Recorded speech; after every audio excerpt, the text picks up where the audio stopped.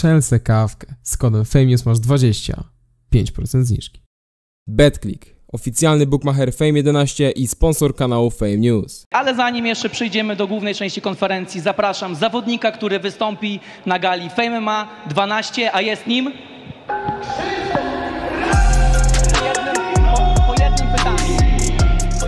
Krzysztof Radzikowski. Krzysztof, jest mi niezmiernie miło powitać Cię w naszej organizacji. Już bardzo długo śledziłem Twoje wyczyny, nie tylko w strongmanach, także te e, na kanapie. E, powiedz nam, Krzysztof, e, czemu MMA? Śladami Mariusza Pudzianowskiego. Słuchaj, y, w ogóle witam wszystkich bardzo serdecznie. E, czy śladami? No, dwa lata temu skończyłem dźwigać już zawodowo strongman. No i coś trzeba w swoim życiu robić, tak? A chciałem dalej pozostać w tym, y, w tym jakby tak życiu treningowym, w tej restrykcji treningowej.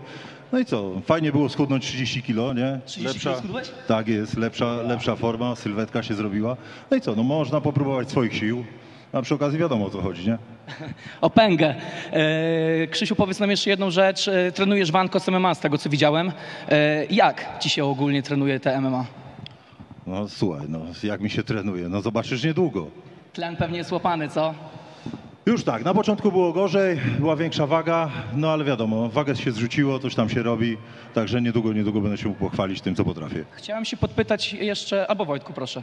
Krzysztof, jesteś bardzo lubianą postacią. Wiele osób pisało nam o tobie, wiele osób się wypytało. Śmierdział, no to będę dymił, no nie? To jest proste. W kurwi rozumiem, tak? Jak ktoś mnie zdenerwuje, no to normalne. Ogólnie jestem sympatyczny, nie- niegroźny, duży tylko z wyglądu, no ale jak ktoś tam coś będzie potrzebował, chciał, no to nie ma sprawy. W tym momencie nie ma sprawy. No, no to nie ma sprawy. W tym momencie nie ma sprawy. No i trzeba rywala twoich gabarytów. Wiesz, czasem gabaryty nie, nie walczą, walczy człowiek. No ale wątpię, że ktoś moich gabarytów by wyszedł do ciebie stary. Nie, ale Krzysztof... Wiewiór.